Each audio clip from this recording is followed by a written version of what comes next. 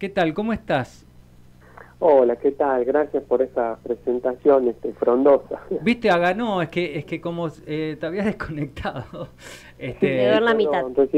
recibí una llamada y apreté algún botón y se, me cayó la llamada. O sea, muy científico, pero sos como nosotros. sí, realmente, realmente. Sí, sí, sí. Eh, eh escucha, a ver, yo explicaba, viste que ahora está un poco de moda esto de hablar de la economía doméstica y decir, bueno, no podemos gastar más de lo que entra y todas estas cosas como, como si supiésemos nosotros los, los mortales y los orejones del tarro cuándo entra, cuánto sale, cuánto hay, qué hay en la Argentina, qué no hay. Este, pero la verdad es que en términos de sí, una casa grande como es el CONICET, eh, intentar de que funcione con el mismo presupuesto, o sea, 220 menos, o sea, dos veces menos que el año pasado en términos nominales, es muy difícil que pueda funcionar, lo cual sería prácticamente cumplir con aquella premisa de afuera que decía el, señor Milei de este, el CONICET. Bueno, ¿qué es lo que está pasando? ¿Qué es lo que están ustedes hoy viendo? ¿Y qué es lo que van a hacer como medidas para defender al CONICET? Bueno, este, este comienzo a través del análisis presupuestario es, es una buena síntesis que permite concluir que rápidamente, sin mucho más análisis, que en el fondo esto eh, no tiene que ver con un ajuste, un achique, sino con un ataque, que es mm. muy distinto, ¿no? Y esto lo mm. podemos fundar también este, contando a, la audiencia una multiplicidad de situaciones que son este, realmente eh, muy alarmantes y que no tienen nada que ver con eh, una política de reorganización institucional, sino realmente eh, son eh, claramente señales de un plan de ataque bastante burdo, ¿no? Mm. Bastante burdo, pero no por eso menos violento, a un conjunto de trabajadores que si bien eh, sostenemos un sistema científico-tecnológico que es grande, no representamos un, un, porcentaje muy alto del presupuesto nacional como se quiere hacer creer. Mm. Sin ir más lejos, han, han dado vuelta las comparaciones en estos días sobre los 24 aviones casa eh, que, se están, que se están, negociando para comprar, que implicarían un monto equivalente al presupuesto de funcionamiento de tres años de CONICET. Mm. Entonces, no es que no hay plata, sino que la plata eh, no se la quiere utilizar para eh, hacer ciencia de manera soberana, independiente, diversa, eh, situada para resolver problemas de, los problemas locales de nuestras diferentes regionales, sino que se, la está utilizando para otras cosas. ¿no? Mm. Y esa es una discusión que creo que se la tiene que dar a través de los órganos democráticos, con la sociedad, con la gente eh, involucrada, porque son bienes que no le pertenecen a un ejecutivo nacional o a un, gobierno de turno, sino, de turno, sino que le pertenecen a todo el conjunto de la sociedad argentina. Mm. Eh, en particular, sí. No, lo que te quería preguntar, incluso este, para comprender, no digo para que comprenda el oyente, sino también para comprenderlo nosotros que estamos acá y a veces eh, cuesta estar en, en, todos los temas a la vez, pero por ejemplo, en, en tu, como doctor en física y todo lo que yo he leído, porque aparte me interesaba leerlo, porque está aplicado la energía solar, eh, has trabajado en un montón de cuestiones. ¿Cómo pasa ese conocimiento científico generado en el CONICET a la vida de un ciudadano? A ver si es a través de lo privado, a través de lo público. ¿Cómo es que, eh, que ustedes de ese valor que tienen se lo pasan, se lo transfieren? ¿Cómo es el proceso? Bueno, ese, es un proceso que se conoce como proceso de transferencia tecnológica y que, bueno, yo no soy una persona experta en transferencia tecnológica, aunque por supuesto como una persona dedicada a un área científica que tiene proyección en transferencia eh, tecnológica, conozco eh, algunas de, las partes. ¿no?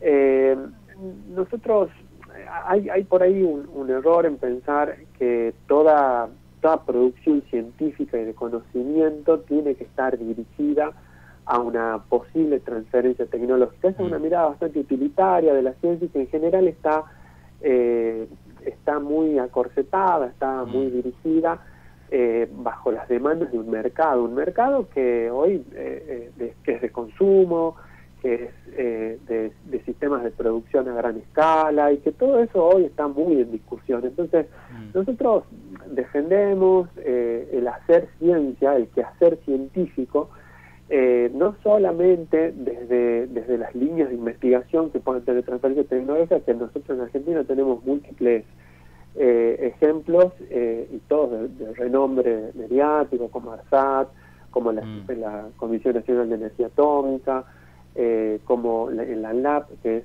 la Asociación Nacional de Laboratorios de Producción de Medicamentos Públicos, eh, etcétera, etcétera, y un montón de otros organismos que intervienen en eh, productos como los barbijos que hemos visto aparecer durante la pandemia, que estaban directamente asociados a investigaciones de CONICET, las mismas vacunas, los mismos test de COVID, etcétera, etcétera. Sin mm.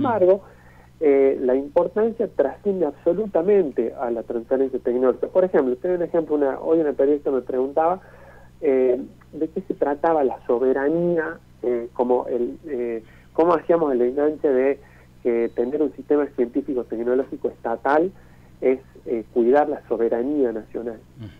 Un ejemplo, por ejemplo, en acá local, tenemos un grupo de investigación eh, que yo conozco como puede conocer cualquier otra persona, ¿no? no porque esté adentro del organismo, pero este grupo ha sido, eh, ha sido de renombre internacional el año pasado por una publicación que ha hecho demostrando que uno de los ríos, de una de las cuencas del Salado, eh, es uno de los ríos que ha demostrado mayor concentración de agrotóxicos en el mundo reportados en el mundo. Es la, es la investigación de Rafael Lismanovich. sí, exactamente, la investigación de Rafael Lismanovich. Sí, sí, sí. Eh, y entonces, ese tipo de investigaciones, si no se hacen eh, financiadas a través de, organismos estatales, desaparecerían y mm. nosotros no tendríamos ninguna manera de detectar que hasta podríamos estar tomando un agua o comiendo peces eh, absolutamente contaminados, ¿no? Por eso es, es muy importante, servimos de mecanismos también de control, de, resguardo, de guarda de, nuestra, de nuestros recursos naturales. Eh, y por eso es que eh, defendemos el quehacer científico desde un lugar bastante más amplio. Mm. Un punto que a nosotros nos parece también muy importante mencionar es que en CONICET hay cuatro grandes áreas, eh, la tecnológica sería una quinta, mm. pero hay cuatro grandes áreas, una de las cuales es de las ciencias sociales las ciencias sociales cuando se quiere atacar el sistema científico tecnológico es la primera que se ataca.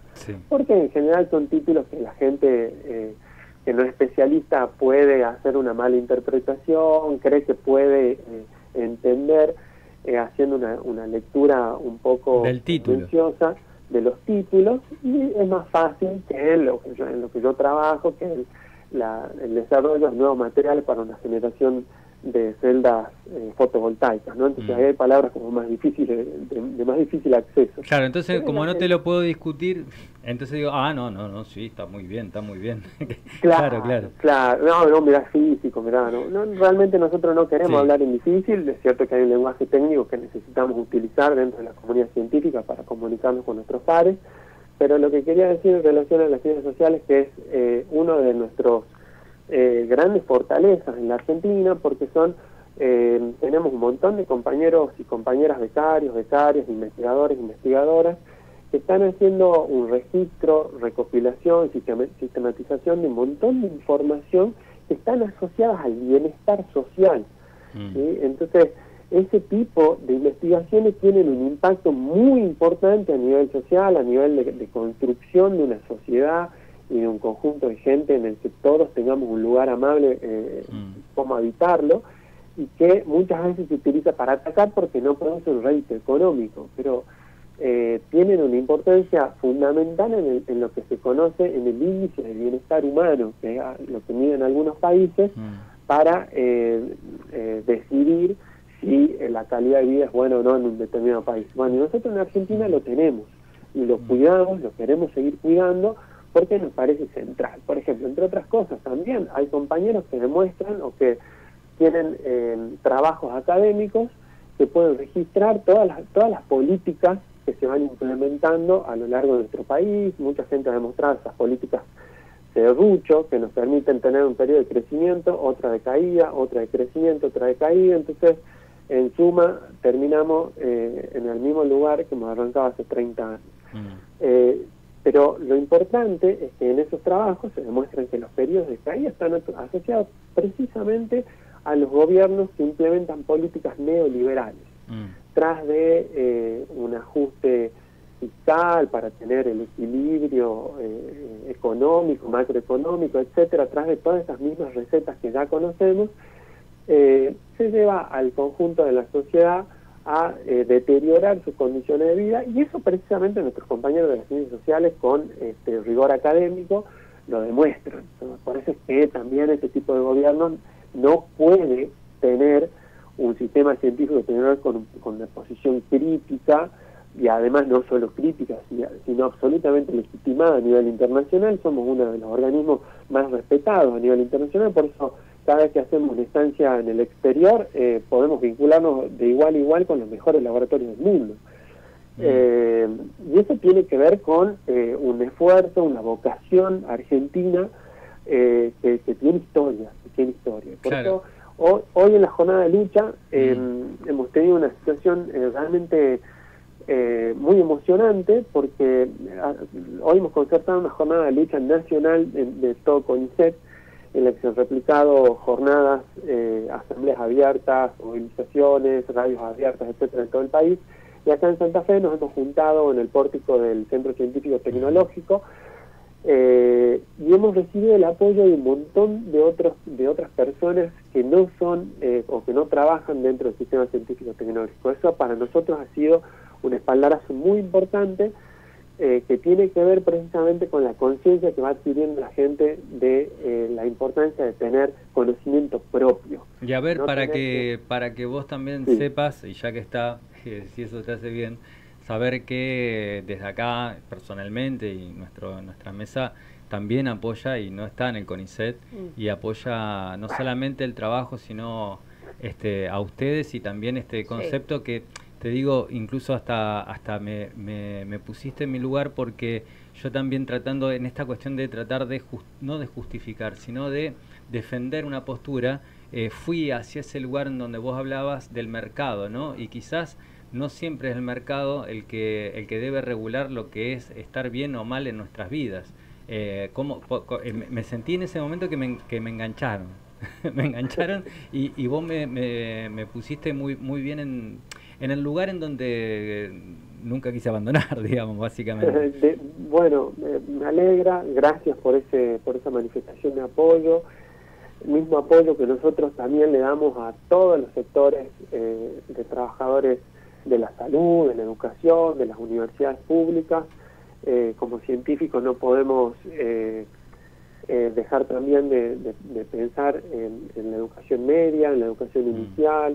Eh, que ahora también en Santa Fe están eh, lidiando con un incumplimiento de paritarias. Bueno, viste, esto realmente se ha vuelto un ataque muy amplio y por eso creemos que eh, es muy importante esta, estas articulaciones, estas unidades y esta, eh, este trabajo de, de, vincularlo entre diferentes actores mm. de la sociedad para poder defender en lo que los argentinos podemos hablar con orgullo y, demostrar nuestra, nuestra vocación. ¿no?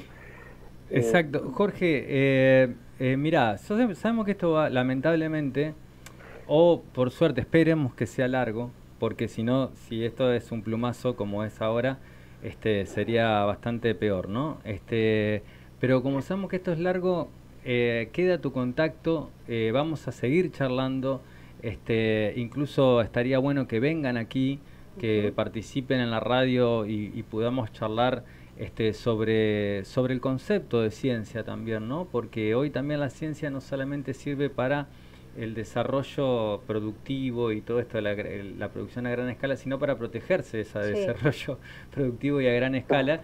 Y eso lo podemos ver, por ejemplo, con lo que son las últimas fotos, que para decirlo algo concreto que están acá, en la cual acá enfrente nomás de, nuestro, en la laguna Setúbal, podemos ver la cantidad de plásticos ¿no? que tienen que ver con ese eh, consumo a gran escala. Este, así que te, te comprometemos, si, si, no será mucho, este, pero ah, si podés que querés venir, charlamos tranquilos sobre lo que es esto. Ahora sí, decir que hoy hubo una jornada de lucha y defensa del CONICET. ¿no? De lucha y defensa del CONICET. Sí, sí, sí, así es. Bueno, gracias entonces por este espacio, encantado de participar y de comunicar todo lo de que en nuestro lugar eh, podemos acercarle a la audiencia. Eh, y también este, cerrar con una reflexión que venimos teniendo muchos compañeros y compañeras en este último tiempo, que está asociado a eh, la importancia que, tiene de no perder la participación en mm. defensa de, nuestros organismos que, son orgullo nacional, mm. como las universidades públicas, el sistema científico-tecnológico, la salud pública, eh, las empresas con base tecnológica que son estatales, etcétera.